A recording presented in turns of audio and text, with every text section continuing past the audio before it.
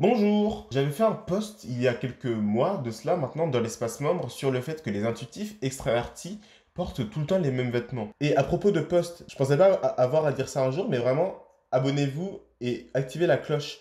Parce que je mets très souvent des posts du coup dans l'onglet communauté de YouTube. On voit plein de trucs qui sont vachement intéressants. Parfois c'est drôle, parfois c'est intéressant, enfin genre instructif, etc. Et, euh, et j'en mets très régulièrement. Coup, vraiment, euh, pour ne pas rater tout ça, en tout cas, allez voir, c'est vraiment euh, cool. Regardez cet extrait de Younes, intuitif extraverti. Ah ouais, je, vais faire apparaître l'extrait dans ma main, tu sais, comme si je le, je le posais comme ça. Malaise XD. Kali, montre tes pieds. Attends, je te montre ce Youn si tu veux. Arrête, mes chaussures sont... Je suis né avec. Elle est... Puis je le reprends à la fin, genre. Euh, Charlie, intuitif extraverti. Il est quand même extrêmement grand pour toi. Il est... Et dis-toi que, je l'ai acheté quand j'étais genre en seconde, ah. sachant que c'était une classe, j'avais 14 ans. Ah. J'étais un petit, un petit bâton de la glisse comme ça, tout petit, et je flottais vraiment dedans. Et les gens se moquaient de moi allègrement, mais je n'en avais rien à foutre. Carnique les rageux. C'est quand même, il a oh une petite bah poche intérieure. Montre-moi des trucs. Euh, la fermeture éclair est pétée, il reste plus qu'un bouton, mais je garde la pêche. Et vous? Le même vêtement depuis longtemps. La carologie, elle a son gilet tout le temps. Donc évidemment, euh, soit je pourrais te l'épargner. C'est cool. Je pensais même que c'était un pyjama, euh, mais en fait non, parce qu'elle le met aussi pour sortir. Et d'ailleurs, par rapport à ce gilet, petite précision, je crois que c'est vraiment un truc de, enfin plus, plus spécifiquement de ENTP, parce que euh, j'ai moi aussi un gilet comme ça, que je mets moi aussi beaucoup trop souvent. Et d'ailleurs, à propos de moi, du coup, intuition extravertie dominante, pareil. Et c'est quelque chose que les gens me disent souvent, je mets tout le temps les mêmes vêtements. Regardez par exemple mes chaussures. Elles sont totalement défoncées. En plus, c'est pas que c'est de la mauvaise qualité, hein. ce sont des pumas, etc. Enfin, ça va quoi. Déchirées de partout. Je les ai tellement portées. Regardez la semelle, comment elle est marquée. La semelle est cassée. C'est cassé. C'est vraiment l'usure, hein qui fait ça. C'est pas que j'ai eu un accident, je sais pas. Non, c'est vraiment l'usure, c'est à force de les porter. Sur l'autre pied, c'est pareil. Il y a aussi un trou. Et c'est pas juste un peu. C'est un vrai trou, hein. c'est pas juste que c'est un peu limé ou je sais pas quoi. C'est un vrai trou, je peux passer mon doigt. Passer deux doigts même. Sans contexte, c'est bizarre de dire ça, mais là vous avez le contexte. Donc arrêtez avec vos petites blagues salaces là, vos esprits pervers, ça dégage. Pareil avec celle-ci, pendant trois ans, je les ai portées tous les jours, je crois, mais enfin, genre vraiment. Mais elles sont tellement confortables aussi. On voit déjà à l'état des, lacets qu'il y a clairement un problème. Je les ai foutues à la machine, donc elles ont l'air un peu plus propres que d'habitude. Donc imaginez comment c'est d'habitude. Regardez la semelle, parce que ça, ça ne part pas au lavage. Pareil, la semelle, elle est défoncée, tellement je les ai portées.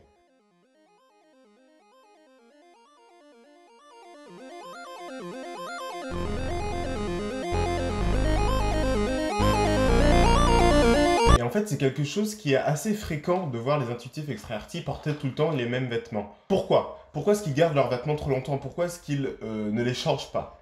Eh bien, cela est extrêmement simple, les amis. Le truc, c'est que l'intuition extravertie, c'est juste une fonction d'observation extravertie, NE et SE. Ce qui fait que, du coup, les observateurs extravertis, ils veulent tout le temps quelque chose de nouveau. Ils ont tout le temps peur de rater la dernière chose qui va sortir. Ils ont tout le temps peur de passer à côté d'une version mieux que ce qu'on a déjà. En ayant des routines, en faisant quelque chose qu'ils connaissent déjà, ils ont peur de rater quelque chose de mieux. Tu vois, ils ont l'impression que si on va voir qu'est-ce qu'il y a derrière la prochaine colline, tu vois, c'est là qu'on trouvera euh, notre salut. Alors que les observateurs introvertis, eux, ils ont préféré non, on va pas euh, faire commencer à aller partout, on s'installe ici, on va construire une base, etc. Tu vois.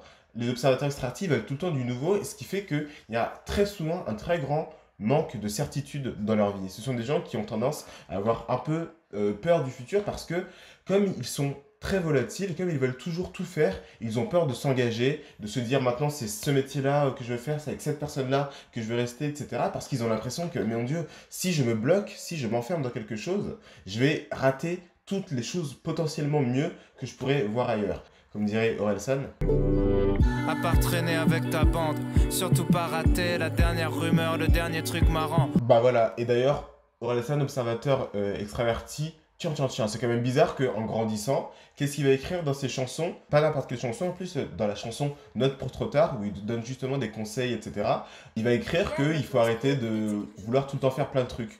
Lui-même, observateur extraverti, il découvre l'observation introvertie euh, enfin, en fin de vie, euh, peut-être pas, mais enfin quand il est grand, quoi, je veux dire. Donc, euh, donc voilà.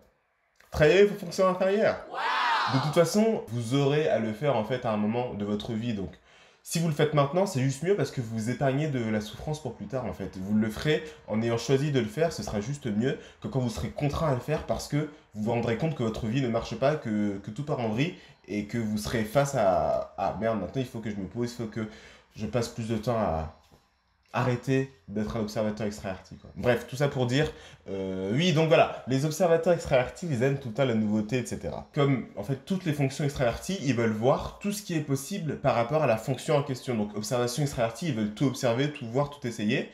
Et décision extravertie, par exemple, ils veulent connaître les opinions de tout le monde, que ce soit TE ou DE, euh, pardon, ou FE, ils veulent connaître les opinions de tout le monde, ils veulent connaître les décisions de tout le monde. Décision extravertie, observation extravertie. Toutes les fonctions extraverties, en fait, elles veulent juste voir la fonction, mais dans sa globalité, dans son entièreté. Donc du coup, les observateurs extravertis, forcément, observation introvertie inférieure, ce qui fait que c'est une fonction qu'ils ne connaissent pas, qu'ils ne maîtrisent pas, dont ils n'ont pas conscience, etc.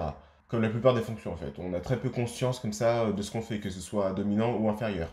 Mais en tout cas, leur observation introvertie, ils sont en général assez bizarres avec vont avoir tendance à vouloir de la certitude dans un domaine précis, à vouloir tout contrôler, mais dans, seulement dans ce domaine-là, etc. Tu vois C'est en général, ils vont le faire assez bizarrement, ce qui fait que du coup, très souvent, les ESP, ils vont garder le même objectif de vie pendant des années. Tu vois Intuition introverti, ils vont vraiment être super euh, bornés, ils vont dire non, c'est ça que je veux faire tu les re-rencontres 5 ans plus tard, ils te disent toujours ouais j'ai toujours cet objectif là. Et évidemment ils passent beaucoup plus de temps à juste s'amuser à faire n'importe quoi au jour le jour, donc leur objectif n'avance pas, mais ils ont toujours le même objectif, parfois pendant des années, etc. Genre un rêve, le truc qu'ils veulent faire, leur intuition introvertie, ils vont être très bizarres avec, ils vont être en général assez peu équilibrés, vachement euh, abusifs, tu vois, enfin bref vraiment du coup fermés d'esprit par rapport à ça, etc. Alors qu'ils passent leur temps à faire n'importe quoi euh, partout. Les ENP, c'est pareil, mais du coup avec la sensation introvertie. Ce qui veut dire que eux, ils vont pas garder les mêmes objectifs, les mêmes rêves pendant longtemps, mais ils vont souvent garder les mêmes objets, les mêmes vêtements pendant longtemps. Le même monde réel en fait. Parce que c'est le seul moyen pour eux d'avoir un peu de certitude dans leur vie. C'est le seul endroit où il y a des informations qu'ils connaissent, où les choses elles sont organisées, etc.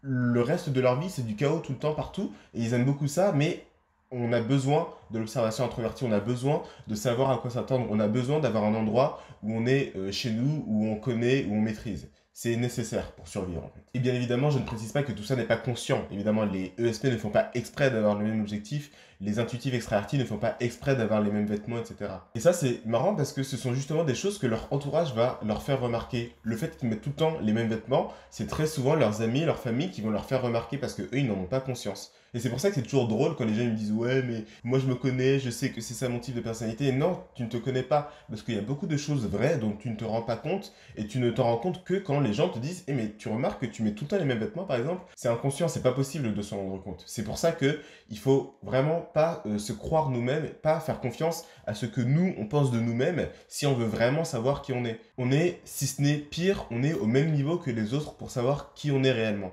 Vraiment. Je pense que c'est même pire, mais disons vraiment au même niveau. Pas plus, surtout pas, et probablement pas moins non plus. Même si je pense que peut-être. Il y a des fois certains éléments qui vont même amplifier ça. Les ENP, par exemple, c'est encore pire parce que leur intuition extravertie, elle est tout en haut et leur sensation introvertie tout en bas. Donc ils seront encore plus bizarres avec, euh, avec cet axe-là que les doubles observateurs qui auront une très bonne intuition extravertie, certes, mais bon, c'est quand même leurs deux fonctions du milieu. Les NT aussi, ça amplifie la chose parce que les vêtements, avoir des beaux vêtements, euh, c'est un truc de SF, tu vois, avoir des objets concrets que tu vas valoriser. Et du coup, bah, c'est vrai qu'ils ont tendance à s'en foutre encore plus. J'ai mon pull jaune là, par exemple, que j'étais tout content d'avoir acheté il il y a plusieurs mois de cela, je n'habitais même pas au même endroit. Euh, bah, je l'ai encore et je le mets encore souvent. Comme si c'était un truc nouveau, tu vois, alors que je l'ai depuis maintenant euh, longtemps. Mon fameux pull jaune, El Famoso pull jaune. Ben, enfin, il est juste là, attendez. Oh bah c'est magnifique ça, hein C'est super Donc du coup, les ENP et les NT, donc les ENTP, du coup, techniquement, ce sont les pires.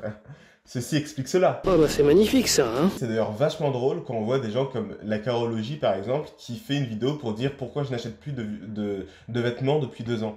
Parce que souvent, très souvent même, il y a des choses comme ça que les gens ils vont faire en pensant en tout cas que c'est un choix, c'est parce qu'ils ont une prise de conscience, c'est parce que si, c'est parce que ça, tu vois. Si tu lui demandes pourquoi est-ce qu'elle n'achète plus de vêtements depuis deux ans, elle te dira jamais que c'est parce que, ah non, bah c'est ma personnalité. Mais il se trouve que c'est hasardeux, euh, une ENP qui naturellement va avoir tendance à ne pas avoir beaucoup de vêtements, à ne pas spécialement chercher à, changer comme ça les objets concrets du monde réel euh, tout le temps. Comme par hasard, c'est cette personne-là qui euh, prend la décision délibérée et parfaitement réfléchie de ne plus acheter de vêtements. Parce que par exemple, Alpha One, je le vois pas dire je n'achète plus de vêtements pendant deux ans.